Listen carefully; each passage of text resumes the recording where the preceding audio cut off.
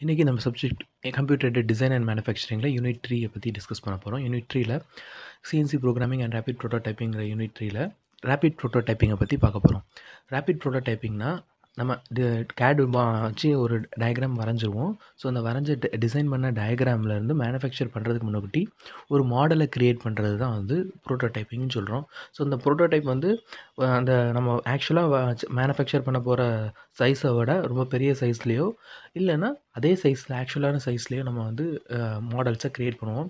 இது அந்த மாதிரி ஆக்சுவல் ப்ரோட்டோடைப்பிங் எதுக்காக பண்ணுறோம் அப்படின்னா இந்த ப்ரோட்டோடைப்பிங்கோட ஆக்சுவலான அப்ளிகேஷன் என்ன அப்படின்னா நம்ம இந்த மாடலை வந்து க்ரியேட் பண்ணி அதோடைய ஃபிட் அசம்பிளி எல்லாம் கரெக்ட் அசம்பிளி எல்லாம் ப வச்சுக்கோங்களேன் அதில் ஆக்சுவலாக கரெக்டாக ஃபிட் ஆகுதா அப்படிங்கிறத டி மேனுஃபேக்சர் பண்ணுறதுக்கு முன்னக்கூட்டியே நம்மளால் செக் பண்ண முடியுது. ஸோ இப்போ இதே இது டைரெக்டாக டிசைன் பண்ணதை மேனுஃபேக்சர் பண்ணிட்டோம்னு வச்சுக்கோங்க. அப்போது அது கரெக்டாக அசம்பிளியில் ஃபிட் ஆகலைன்னா நம்ம மேனுஃபேக்சர் பண்ண அந்த ப்ராடக்ட்டை வந்து வேஸ்ட்டு அதோட மெட்டீரியல் எல்லா இதுவுமே வேஸ்ட் ஆயிரும்.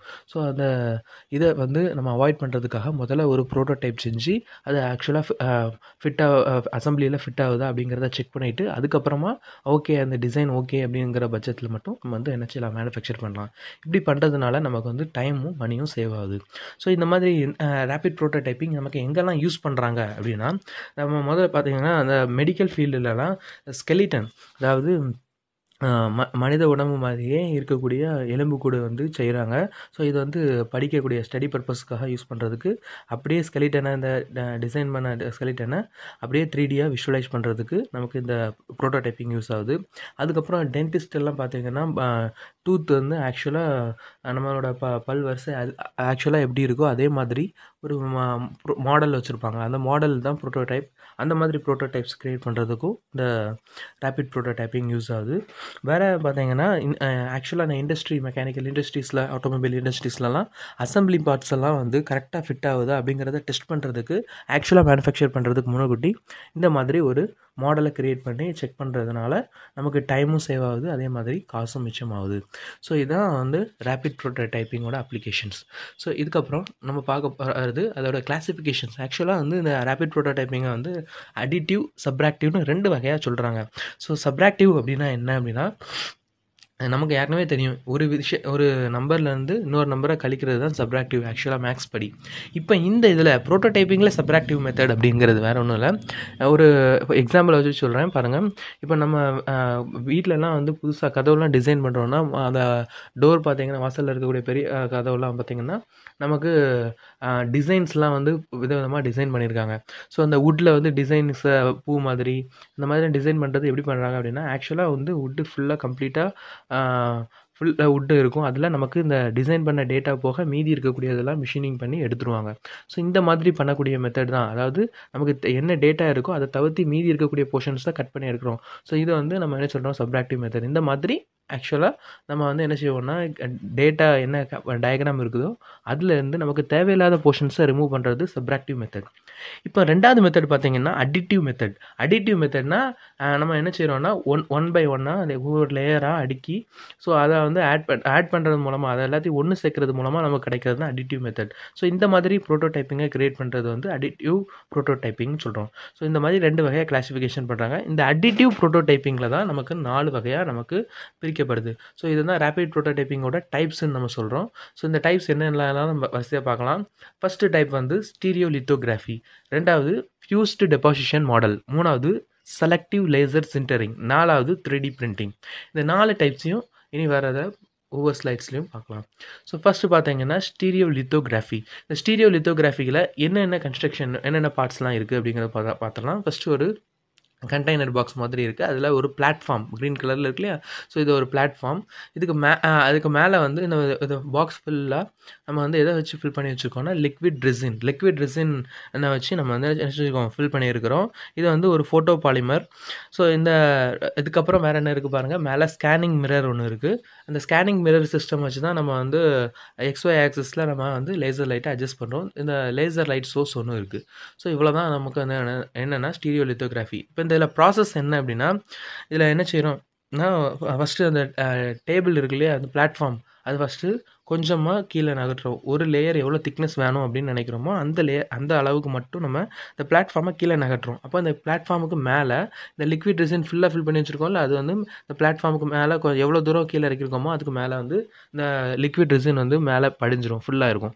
ஸோ இந்த லிக்விட் ரெசின் மேலே நம்ம லேசர் லைட்டை கேடு டேட்டா நம்ம வந்து என்ன டிசைன் பண்ணியிருக்கோமோ அந்த மாடலோட ஷேப் தக்கன அந்த லேசர் லைட் படுற மாதிரி ஸ்கேனிங் மிரர் சிஸ்டம் வந்து அட்ஜஸ்ட் ஆகும். ஸோ எக்ஸ்ஒய் டைரக்ஷன்ஸில் மூவ் ஆகிறதுனால ஸோ நமக்கு அந்த லேசர் லைட் சோர்ஸ் வந்து அந்த லிக்விட் ரிசின் மேலே படும். ஸோ இந்த மாதிரி லிக்விட் ரெசின் மேலே இந்த லேசர் லைட் படும்போது இந்த லிக்விட் ரெசினோட ப்ராப்பர்ட்டி என்ன அப்படின்னா இந்த ஃபோட்டோ பாலிமர் இந்த லிக்விட் பட் மேலே வந்து நமக்கு லேசர் லைட் பட்ட உடனே இது ஹார்டான மெட்டீரியலாக மாறிடும். ஸோ அப்போ மீதி அதை லேசர் லைட் பட்ட இடம் மட்டும் ஹார்ட் ஆயிரும். ஸோ அது வந்து என்ன செஞ்சிடும் நேராக வந்து இந்த பிளாட்ஃபார்ம் மேலே படிஞ்சிரும். அப்புறம் இந்த பிளாட்ஃபார்மை இன்னொரு லேயர் எவ்வளோ திக்னஸ் வேணும்னு நினைக்கிறோமோ அந்த அளவுக்கு மறுபடியும் என்ன செய்கிறோம்னா இந்த பிளாட்ஃபார்மை கீழே நகட்டுறோம் கீழே நகர்த்தும் போது மறுபடியும் இதுக்கு மேலே லிக்விட் ரிசின் வந்து நிரம்பிடும் இப்போ மறுபடியும் என்ன செய்வோம் அப்படின்னா அந்த ஸ்கேனிங் மிரரை வச்சு லேசர் லைட் சோர்ஸை இதுக்கு லிக்விட் ரிசின் மேலே பாஸ் பண்ணுவோம். இப்போ இந்த லேயரும் என்ன ஆயிரும்? ஹார்ட் ஆயிரும். இந்த லேயரும் இந்த கீழே வந்து பிளாட்ஃபார்மில் படியும். ஸோ இப்படி லேயர் பை லேயராக இப்படி வரிசையாக பிளாட்ஃபார்மை கொஞ்சம் கொஞ்சமாக கீழே நகுது லேயர் பை லேயராக ஒன்றுக்கு மேலே ஒன்று வந்து நம்ம லேயர்ஸ் லேயர்ஸாக க்ரியேட் பண்ணி அதை எல்லாத்தையும் சேர்த்து நம்ம ஒரு ப்ரோட்டோடைப் க்ரியேட் பண்ணுறோம் இது வந்து ஸ்டீரியோ லித்தோகிராஃபி ஸோ அதுக்கு அடுத்தது ரெண்டாவது டைப் என்ன பார்க்க போகிறோம்னா ஃபியூஸ்ட் டெபாசிஷன் மாடல் இந்த ஃபியூஸ் டெபாசிஷன் மாடலில் வந்து என்னென்ன பார்ட்ஸ்லாம் இருக்குன்னா பிளாட்ஃபார்ம் ஃபஸ்ட்டு இருக்குது ரெண்டாவது பார்த்தீங்கன்னா நாசில் இருக்குது இந்த நாசிலோட ஒரு ஹீட்டர் வந்து அட்டாச் பண்ணியிருக்காங்க. அதான் மெல்டர்னு சொல்கிறோம் ஸோ அதுக்கு அதுக்கு மேலே பார்த்தீங்கன்னா ஃபீட் ரோலர் இருக்குது அதுக்கப்புறம் பிளாஸ்டிக் ஃபிலமெண்ட்டை வந்து ஒரு காயிலில் சுற்றி வச்சுருக்காங்க. ஸோ இந்த பிளாஸ்டிக் ஃபிலமெண்ட் வந்து என்ன செய்யணும் அப்படின்னா இதோட ப்ராப்பர்ட்டி என்னென்னா இந்த ஹீட்டருக்குள்ளே போகும்போது இது உருகிரும். ஸோ இது வந்து ஆக்சுவலாக ஒரு ஒயர் மாதிரி நீளமாக அந்த காயிலில் சுற்றி வச்சுருக்காங்க. ஸோ இந்த இதோடைய இந்த பிளாஸ்டிக் மெட்டீரியல் என்னென்னா ஒரு தெர்மோ பிளாஸ்டிக் அதாவது ஹீட் அதாவது நைலான் வேக்ஸ் அந்த மாதிரி இருக்கும். ஸோ இது வந்து ஹீட் பண்ணும்போது இது வந்து சாதாரணமாக வந்து ஹார்டாக இருக்கும். ஹீட் பண்ணும்போது அது வந்து என்னாச்சுன்னா உருகு நிலைக்கு போயிடும் ஸோ லிக்விட் மாதிரி ட்ராப்ஸாக மாதிரிடும் ஸோ நமக்கு இந்த இதோட ப்ராசஸ் என்ன அப்படின்னு பார்த்தீங்கன்னா ஃபஸ்ட்டு இந்த காயில் வந்து ஃபீட் ரோலர் வழியாக ஹீட்டருக்குள்ளே போகும். இந்த ஹீட்டருக்குள்ளே போனோடனே அது இதில் இருக்கக்கூடிய ஹீட்னால அது மெல்ட் ஆயிரும். மெல்ட் ஆன உருக நிலைக்கு போனதுக்கப்புறம் நாசில் வழியாக அது வெளியில் லிக்விடாக வரும். ஸோ வரும்போது நமக்கு அந்த அந்த என்ன செய்வோம்னா நாசில் வந்து எக்ஸ்ஒய் டைரக்ஷன்ஸில் நம்ம லிக்விடு வந்து என்ன செய்யணும்னா கீழே அந்த பிளாட்ஃபார்ம் மேலே இப்படி போர் பண்ணிகிட்டே வரும்.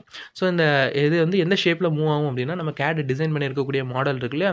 அந்த டயக்ராமை பொறுத்து இந்த இதை வந்து எக்ஸ்ஒய் டைரக்ஷன்ஸில் மூவ் ஆகும். ஸோ இப்படி வந்து அந்த ரிசன்ஸ் எல்லாமே நான் அந்த லிக்விடாக இருக்கக்கூடிய அந்த பிளாஸ்டிக் ஃபிலமெண்ட் மெட்டீரியல் வந்து நேராக வந்து அந்த பிளாட்ஃபார்ம் மேலே படிஞ்சிறதுனால நமக்கு லேயர் பை லேயராக வந்து இதில் வந்து நம்ம என்ன க்ரியேட் பண்ணுறோம் அப்படின்னா ஒரு ப்ரோட்டோடைப்பை க்ரியேட் பண்ணுறோம் இந்த டைப்புக்கு பேர் ஃபியூஸ்டு டெபாசிஷன் மாடல் இதில் வந்து எக்ஸ்ஒய் பிளாட்டர் மெக்கானிசம்னு சொல்லுவோம். அந்த மெக்கானிசம் மூலமாக அந்த நாசில் வந்து எக்ஸ்ஒய் டைரக்ஷன்ஸில் மூவ் ஆகுது. அந்த டேட்டாக்கு கேடு டயக்ராம் பொறுத்து.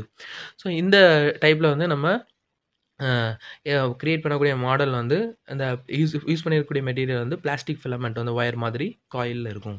சரி அடுத்த டைப் என்ன பார்க்க போகிறோம் அப்படின்னா செலக்டிவ் லேசர் சின்டரிங் இதில் என்னென்ன பார்ட்ஸ்லாம் இருக்குது பார்த்தீங்கன்னா லேசர் சோர்ஸ் இருக்குது ஸ்கேனிங் மிரர் சிஸ்டம் இருக்குது அதுக்கப்புறம் பார்த்தீங்கன்னா அந்த பவுடர் அதாவது இந்த இதில் வந்து நம்ம லிக்விட் ரெசின் அந்த இல்லைனா பிளாஸ்டிக் ஃபிலமெண்ட் அதை யூஸ் பண்ணலை. அதுக்கு பதிலாக நம்ம வந்து பவுடரை யூஸ் பண்ணுறோம் ஸோ இது வந்து என்னென்னா ஒரு பிஸ்டனுக்கு சிலிண்டர் அரேஞ்ச்மெண்ட் இருக்குது அதில் ஃபஸ்ட்டு இருக்கக்கூடிய இந்த பிஸ்டனுக்குள்ளே வந்து ஃபில்ல பார்த்தீங்கன்னா பவுடரை ஃபில் பண்ணி வச்சுருப்பாங்க. ஸோ இந்த பவுடர் வந்து ஒரு லேயர் எவ்வளோ ஒரு லேயருக்கு வந்து எவ்வளோ பவுடர் தேவைப்படுமோ அந்த அளவுக்கு நம்ம பிஸ்டனை மேலே நோக்கி நகர்த்துவோம் ஃபஸ்ட்டு அதுக்கப்புறம் அது மேலே இருக்கக்கூடிய ரோலர் வந்து அந்த லெஃப்ட் ரைட் டைரக்ஷனில் மூவ் ஆகுமா? ஸோ ரைட் ரைட் சைடு அந்த பவுடரை எக்ஸஸாக இருக்கக்கூடிய பவுடர் எல்லாத்தையும் கொண்டு போய் அந்த பிளாட்ஃபார்மில் வந்து ஃபில் பண்ணிடும் ஸோ இந்த பிளாட்ஃபார்ம் என்ன செய்வோம்னா கொஞ்சம் கொஞ்சமாக கீழே இறக்கும் ஒவ்வொரு லேயர் ஃபார்ம் பண்ணுறதுக்கு எவ்வளோ திக்னஸ் வேணுமோ அந்த அளவுக்கு மட்டும்தான் ஃபஸ்ட்டு இறக்கும் ஸோ அப்போ அந்த ஒரு லேயருக்கு தேவையான பவுடர்ஸ் வந்து அந்த பிளாட்ஃபார்ம் மேலே படிஞ்சிடும் ஸோ இப்படி கொஞ்சம் கொஞ்சமாக வந்து நம்ம லேயர் பை லேயர் அந்த பவுடரை யூஸ் பண்ணி நம்ம இது பண்ணுறோம் ஸோ இதோட ப்ராசஸ் என்ன அப்படிங்கிறத நம்ம பார்த்துடலாம் ஸோ ஃபஸ்ட்டு என்ன செய்வோம் அப்படின்னா இந்த பிஸ்டன் சிலிண்டர் அரேஞ்ச்மெண்ட்டில் முதல்ல இருக்கக்கூடிய பிஸ்டன் சிலிண்டர் அரேஞ்ச்மெண்ட்டில் கொஞ்சமாக அந்த பிஸ்டனை மேல் நோக்கி நகர்த்துவோம். நகர்த்தும் போது அந்த ஒரு லேயருக்கு தேவையான பவுடரை இந்த ரோலர் வந்து இந்த ரெண்டாவது இருக்கக்கூடிய அரேஞ்ச்மெண்ட் அந்த பிளாட்ஃபார்ம் மேலே பவுடர் ஃபில் பண்ணிடும் இந்த பவுடர் ஃபில் பண்ணதுக்கு பிறகு இந்த லைட்டு லேசர் லைட் சோர்ஸ் வந்து ஸ்கேனிங் மிரர் சிஸ்டம் வச்சு அதை வந்து என்ன செய்யணும்னா நம்ம டிசைன் பண்ண டேட்டா இருக்கு இல்லையா கேடு கேடு டயக்ராம் பொறுத்து அந்த ஸ்கேனிங் மிரர் அட்ஜஸ்ட் ஆகும் எக்ஸ்ஒய் டைரக்ஷன்ஸில் மூவ் ஆகும். ஸோ அப்போ அந்த லேசர் லைட் வந்து அந்த பவுடர் மேலே பிளாட்ஃபார்மில் இருக்கக்கூடிய பவுடர் மேலே படும். ஸோ இப்போ இந்த லேசர் லைட் பட்ட இடம் மட்டும் என்ன ஆகும் அப்படின்னா மெல்ட்டிங் ஆகும் ஸோ இந்த இப்படி மெல்ட்டிங் ஆகுறதுனால அது என்ன செய்யும் அப்படின்னா உருகு நிலைக்கு போகிறதுக்கப்புறம் நம்ம மறுபடியும் அந்த இருக்கக்கூடிய பிளாட்ஃபார்மை கொஞ்சமாக ஒரு லேயருக்கு எவ்வளோ திக்னஸ் தேவையோ அந்த அளவுக்கு மட்டும் கீழே இறக்குவோம். இந்த பிஸ்டனை வந்து எவ்வளோ ஒரு பவுடர் பிஸ்டன் வந்து மேலே நோக்கி மூவ் ஆகும். ஸோ மூவ் ஆகும்போது நமக்கு தேவையான பவுடர்ஸ் வந்து ஃபீட் ரோலரை வந்து மறுபடியும் இந்த பிளாட்ஃபார்ம் மேலே படிய வச்சிரும். ஸோ இப்போ என்ன செய்வோம்? ஏற்கனவே அந்த உருகு நிலையில் இருக்க பவுடருக்கு மேலே இந்த புது ஃப்ரெஷ் பவுடரை வந்து ஃபில் பண்ணி வச்சுட்டோம்னா அது வந்து மெல்ட்டான நிலைமையில் இருக்குல்ல? ஸோ ஒரு லேயரும் இந்த ரெண்டாவது லேயரில் உள்ள பவுடர்ஸும் என்ன செஞ்சுக்கிடும் ஒட்டிக்கிடும் லேசர் லைட் பட்ட இடம் மட்டும். ஸோ அப்போ இதுக்கு அடுத்தது இந்த ரெண்டாவது லேயர் மேலேயும் நம்ம என்ன செய்வோம்னா லேசர் லைட்டை பாஸ் பண்ணுவோம். ஸோ இப்போ இதுலேயும் அந்த டேட்டா என்ன ஷேப் இருக்குதோ அந்த டயக்ராமில் அந்த ஜாமெட்ரிக் படி மட்டும் நம்ம வந்து என்ன செஞ்சுருவோம் லேசர் லைட்டை பாஸ் பண்ணுவோம். இப்போவும் இந்த ரெண்டாவது லேயரில் இருக்கக்கூடிய அந்த பவுடர் லேசர் லைட் பட்ட இடம் மட்டும் நமக்கு என்ன செய்வோம் மெல்ட்டிங் ஸ்டேஜுக்கு போயிடும் ஸோ உருகு நிலையில் இருக்கும். இது இப்போ மறுபடியும் என்ன செய்வோம் பிளாட்ஃபார்மாக கீழே இறக்குவோம்.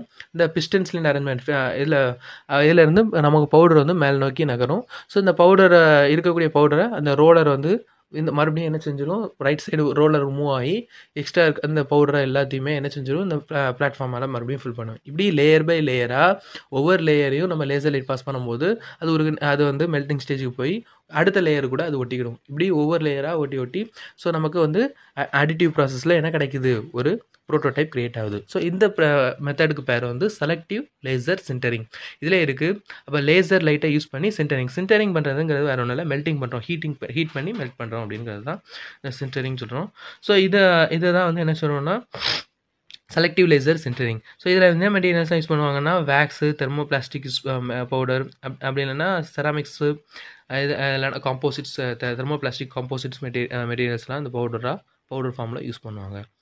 நெக்ஸ்ட் பார்க்க போகிறது த்ரீ டி பிரிண்டிங் இந்த த்ரீ டி பிரிண்டிங்னா என்ன அப்படின்னா ஃபஸ்ட்டு இதே மாதிரி தான் இந்த நம்ம இதுக்கு முன்னாடி பார்த்தா செலக்டிவ் லேசர் சென்டரிங் மாதிரியே தான் அரேஞ்ச்மெண்ட் செட்டப் இருக்கும். இதில் என்ன பார்த்தீங்கன்னா இதில் ஃபீடு டேபிள் இருக்குது இந்த ஃபீட் டேபிள் வழியாக பவுடர் பவுடர் நம்ம கொஞ்சம் கொஞ்சமாக ஒவ்வொரு லேயருக்கு தேவையான பவுடர்ஸை இந்த பிஸ்டனை மேல் நோக்கி நகர்த்துறது மூலமாக நம்ம வந்து அந்த பிளாட்ஃபார்முக்கு நம்ம கொடுக்க முடியும்.